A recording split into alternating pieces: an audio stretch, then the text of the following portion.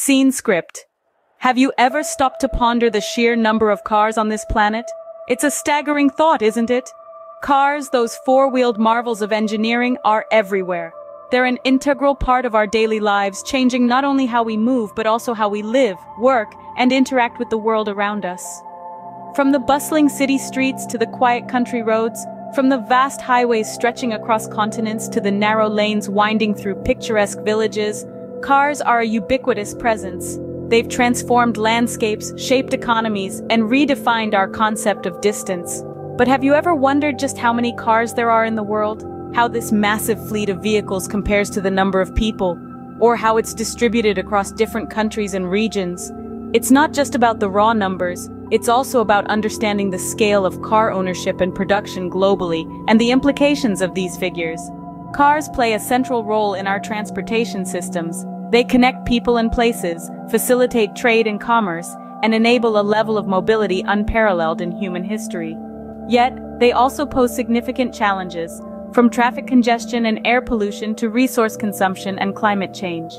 In this video, we're going to delve into some hard-to-imagine facts about the sheer number of cars on Earth. We'll explore the landscape of global car production and ownership, examine the economic and environmental impacts of this vast fleet of vehicles, and look at trends shaping the future of transportation. We'll consider the leading car-producing countries, the concept of cars per capita, the rise of electric cars and alternative fuels, and much more. We'll also touch on the historical evolution of cars, changing ownership trends, and the challenges posed by traffic and congestion. So buckle up and get ready for a fascinating journey into the world of cars. From the early days of the automobile to the cutting-edge technologies of today and tomorrow, we're about to embark on a road trip like no other. Let's dive into the world of cars, shall we? You'd be amazed at the staggering number of cars that populate our world. It's a number so large, it's almost hard to wrap your mind around. Picture this, there are more than 1 billion cars on the roads globally. That's one car for every seven people on Earth. Now, let's step back in time for a moment. In 1900, there were just 8,000 cars in the United States and fewer than 100,000 worldwide. Fast forward to the 1950s and we're looking at 50 million cars globally. By the end of the 20th century, that number had skyrocketed to more than half a billion. So if we've gone from less than 100,000 cars to over a billion in a little over a century, where are we headed next? Well, some projections suggest that by 2050, there could be as many as two and a half billion cars on our roads. That's a staggering thought, isn't it? But let's not get ahead of ourselves. For now, let's just focus on the present. As of today, the largest car markets in the world are China, the United States, and the European Union. China alone accounts for more than a quarter of all cars produced globally. Now, you might be wondering, where do all these cars end up? Well, the United States has the highest number of cars per capita, with nearly 800 cars for every thousand people. That's almost one car for every person of driving age. In contrast, in countries like India and China, there are fewer than 200 cars for every thousand people. But here's the thing.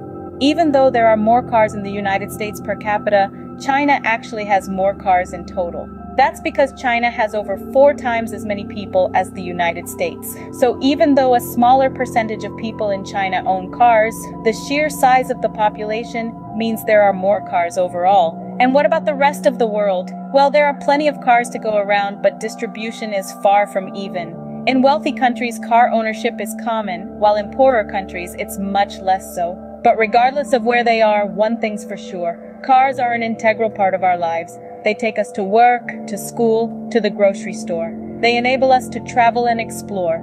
They play a pivotal role in our economies, our cultures, our societies. Yet with all these cars on the roads, we're also faced with challenges. Traffic congestion, air pollution, greenhouse gas emissions. These are all very real issues that we need to address. But that's a topic for another time. For now, let's just marvel at the sheer number of cars in the world. It's mind-boggling, isn't it? Ever wondered which countries are the powerhouses of car production? Let's shift gears and delve into the world of car manufacturing. The automobile industry is a driving force in the global economy, with several countries leading the pack in production numbers. China, for instance, is a titan of the automobile industry. As the most populous country in the world, it's no surprise that China also takes the top spot when it comes to car production. With an impressive array of both domestic and international brands under its belt, China's automobile factories are roaring day and night to meet the ever-growing demand. Next in line, we have the United States, a country known for its love affair with cars. From the classic Ford Model T to the revolutionary Tesla electric cars, America's contribution to the automobile industry is nothing short of monumental. The land of the free is home to some of the biggest car manufacturers in the world, which in turn significantly contributes to its economy. Then we have Japan, the birthplace of brands like Toyota, Honda, and Nissan. These brands have become household names worldwide, thanks to Japan's commitment to quality, innovation, and efficiency. Germany too commands a strong presence in the car manufacturing scene. Synonymous with precision and luxury, German car manufacturers like Mercedes-Benz, BMW, and Volkswagen are renowned for setting high standards in the industry. Lastly, let's not forget about India and South Korea. These two Asian nations have made significant strides in car production, with brands like Hyundai, Kia, Maruti Suzuki, and Tata Motors making their mark globally. So what does this all mean? Well, the economic implications of car manufacturing are vast. It's not just about the cars, it's about the jobs, the investments, and the technological advancements that come along with it. These countries are not just making cars, they're driving economic growth, innovation, and global trade. These countries certainly fuel the world's mobility. Car ownership is not evenly distributed across the globe. As we delve into the concept of cars per capita, we find a fascinating tapestry of cultural and economic influences that shape car ownership. Let's start with a snapshot of the global scene.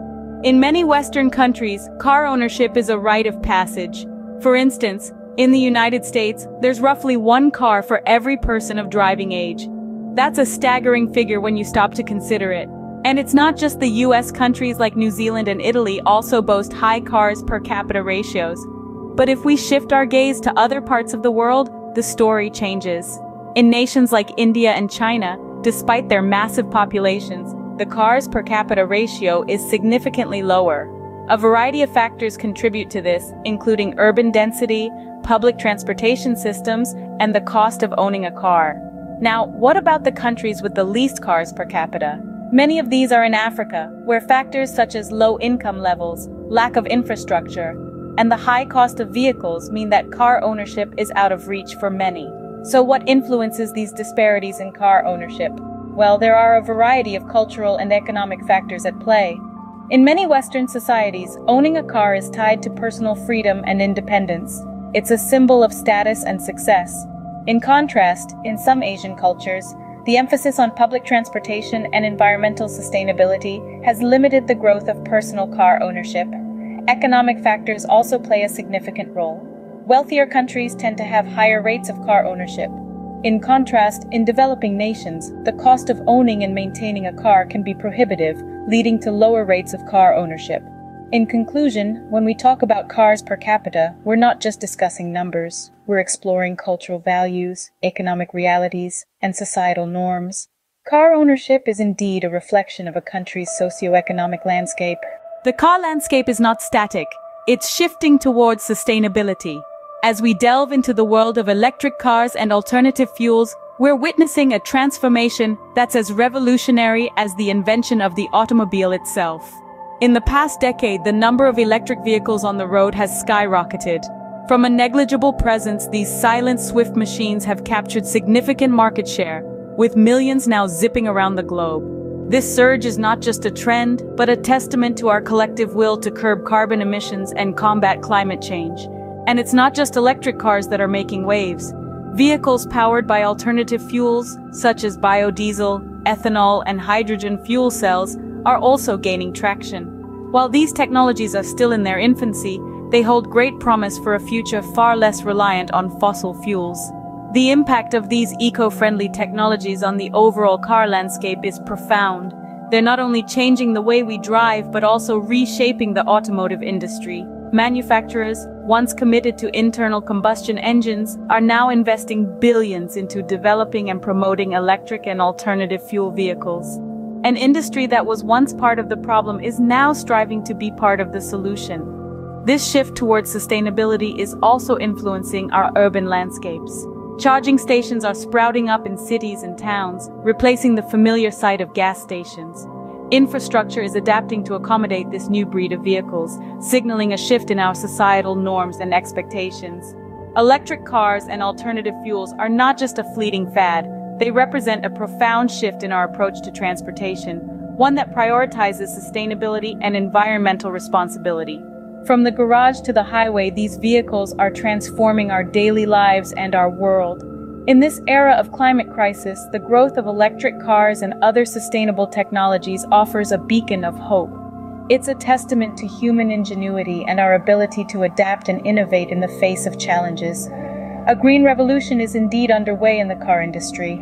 As we continue to navigate towards a sustainable future, these alternative vehicles will play an increasingly central role. They are not just vehicles of change, but vehicles for change. Cars have come a long way since their early days. A statement that's as true as it is simple. But let's journey back in time and trace the roots of the automobile. The genesis of the car industry can be traced back to the late 18th century with the invention of the steam-powered vehicle. However, it was not until the late 19th century, when Carl Benz gave birth to the first gasoline-powered car, that the automobile as we know it today began to take shape. Many years later, in the early 20th century, Henry Ford revolutionized the industry with the introduction of the Model T and his game-changing innovation, the assembly line. This not only made cars more affordable for the average person, but also set a new standard for mass production worldwide. The mid-20th century saw the rise of stylish and luxurious cars, reflecting a post-war economic boom. Brands like Cadillac, Rolls-Royce and Ferrari became symbols of status and prestige. Then came the oil crisis of the 70s, which triggered a shift towards smaller, more fuel-efficient cars. This paved the way for Japanese manufacturers like Toyota and Honda to make their mark on the global stage. Fast forward to the dawn of the 21st century, and we see the advent of hybrid and electric vehicles. Spearheaded by companies like Tesla, this era marks a significant shift towards sustainable and environmentally friendly transportation. And let's not forget about the ongoing advancements in autonomous driving technology.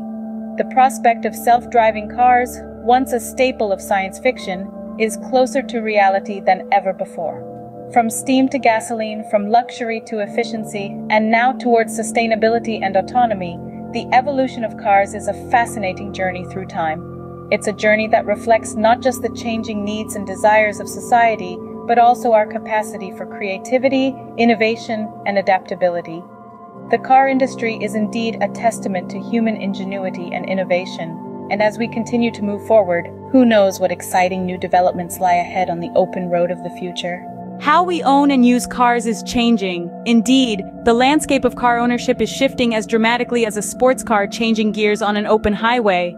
In the past, owning a car was a rite of passage, a symbol of freedom and independence. But today, it's not so simple. The rise of car-sharing services like Uber and Lyft is transforming the way we think about car ownership. Why buy a car? Pay for insurance, maintenance, and parking, when you can just summon a ride with a few taps on your smartphone? Car-sharing services are not just a trend, they're a testament to our evolving relationship with cars. But it's not just about car sharing. The impact of technology on our relationship with cars is profound. Today, cars are more than just vehicles, they're smart devices on wheels. With the advent of connected car technology, our cars can now interact with our smartphones, our homes, and even with each other.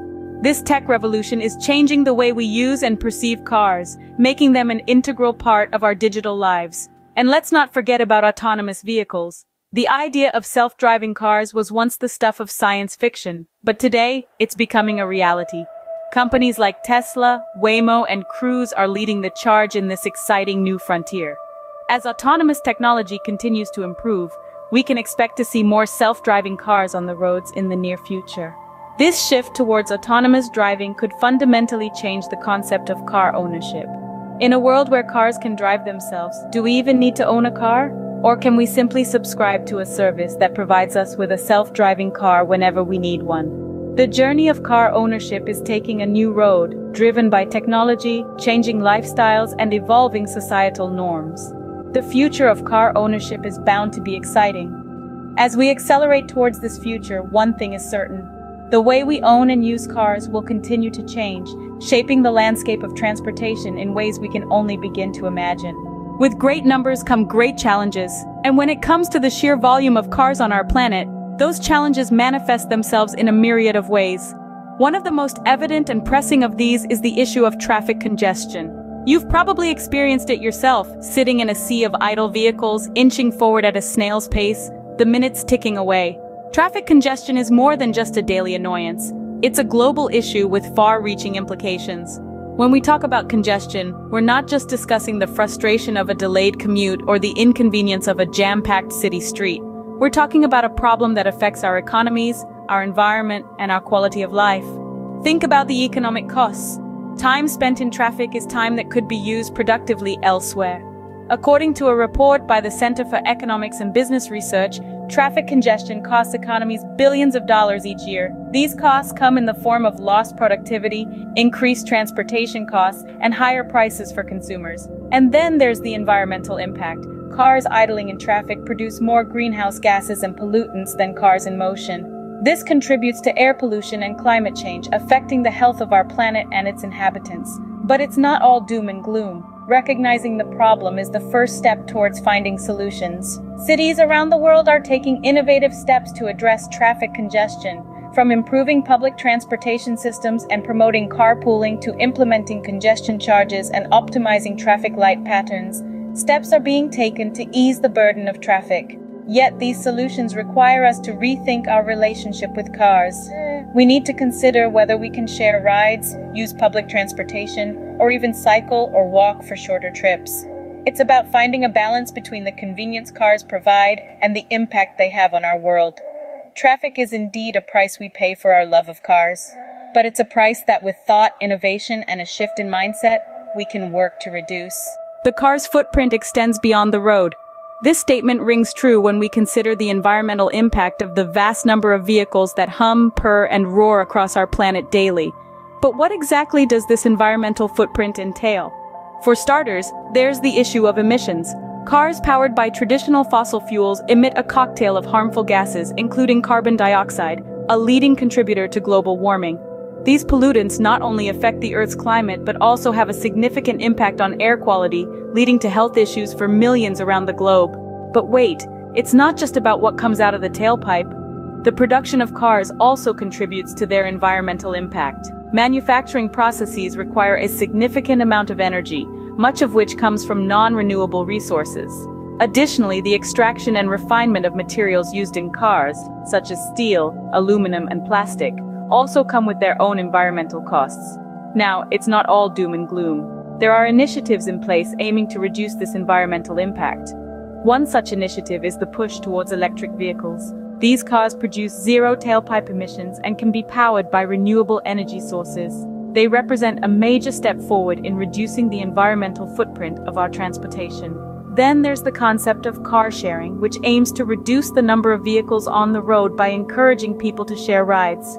Fewer vehicles mean less pollution and less resource consumption. And let's not forget about advancements in fuel efficiency.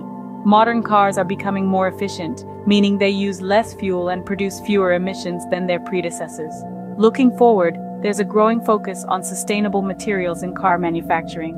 Automakers are exploring the use of recycled and bio-based materials, aiming to reduce the environmental impact of their production processes. In conclusion, while the environmental impact of cars is significant, it's encouraging to see the steps being taken to reduce these effects. As we continue to innovate and shift our focus towards sustainability, we can hope to see a future where cars coexist harmoniously with the environment.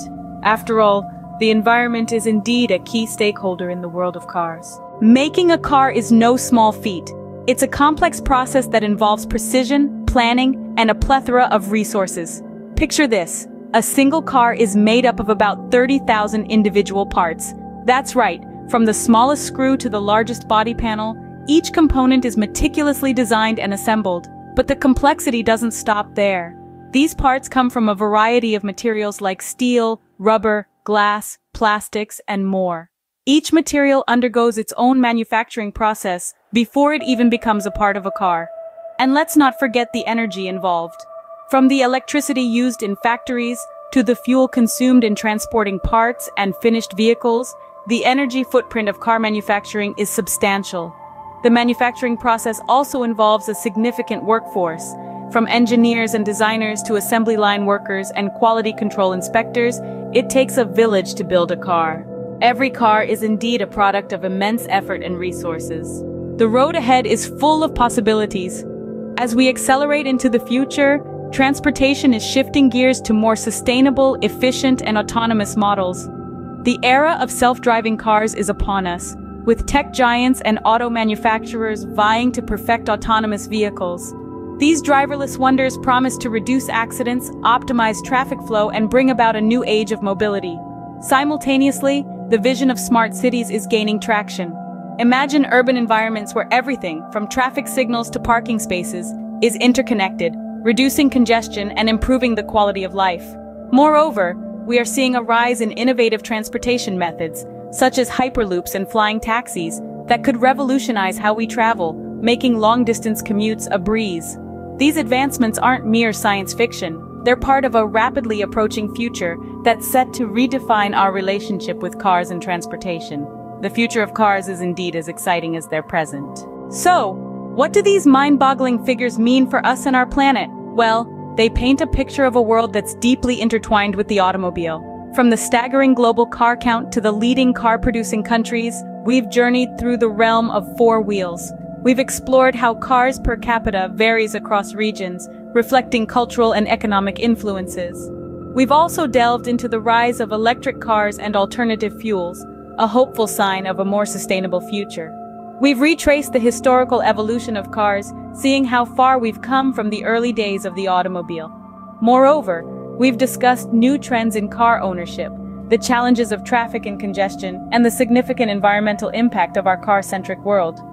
We've even touched upon the intricate processes of car manufacturing and peeked into the future of transportation. Remember, every car counts. Drive responsibly and consider sustainable alternatives when possible. Do not forget to like, subscribe, and share. Stay tuned for more intriguing facts. Thank you.